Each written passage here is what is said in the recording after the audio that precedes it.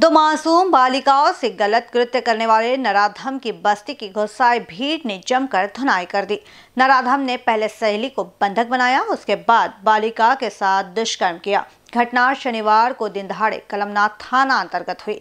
घटना से कुछ समय के लिए तनाव बना रहा।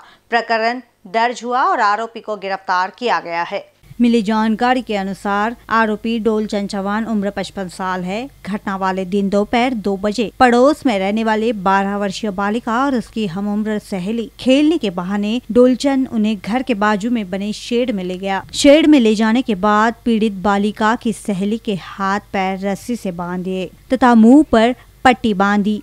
पश्चात उसने बालिका से दुष्कर्म किया। बालिका का शोर सुनकर उसकी माँ वहाँ पर पहुँची। शर्मसार करने वाला दृश्य देख उसके पैरों तले से ज़मीन खिसक गई। उसने चप्पल से डोलचन को पीटना शुरू किया। शोर शराबा सुनकर बस्ती के लोग जमा हो गए और उन्होंने भी डोलचन को घेर लिया और उसकी जमकर धुनाई कर दी। इस बीच किसी ने फ़ोन कर मामले की सूचना पुलिस को दी। आठ तारखेला विजयनगर हद्दीमध्ये एक दोन मुलींना एक चौपन्न वर्षाचा आहे आरोपी. त्याचं नाव गोलचंद यादवराव चव्हाण. त्याने त्या मुलींना खेळण्याच्या बहाण्याने एका त्याच्या घराच्या बाजूलाच एक खोली आहे तिथे घेऊन गेला आणि त्यांना तिथे बंधक बनवून त्यांच्या डोळ्यावर वगैरे पट्टी बांधून जुडवा गेम खेळू या उद्देशाने त्यांना बंधक बनवलं आणि त्याच्यावरून त्यांच्यासोबत जबरदस्ती अत्याचार केला.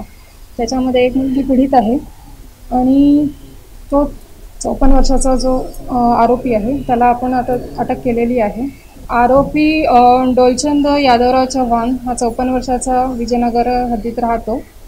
त्याच्यावर याआधी गुन्हे दाखल नाही आहे आणि आता सध्या आपल्या तो ताब्यात आहे. त्याचा आज पी सी आर तो टाइल्स टाइल्स का काम करतो पुलिस ने तुरंत मौके पर पहुंचकर लोगों के चंगुल से किसी तरह डोलचंद को मुक्त किया और थाने ले गए। प्रकरण दर्ज कर आरोपी को गिरफ़्तार किया गया। डोलचंद मजदूरी करता है।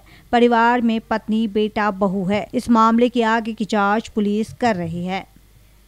कैमरा पर्सन अखिलेश भारद्वाज के साथ दिशा हटवार की रिपोर्ट बी न्यूज़ नागपुर।